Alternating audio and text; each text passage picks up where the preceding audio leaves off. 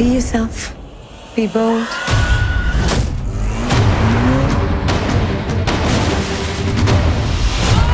That's more like it!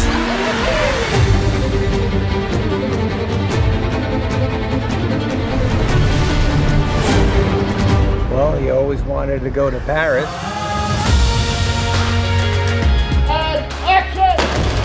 The film is a combination of stop motion mixed in with 2D animation.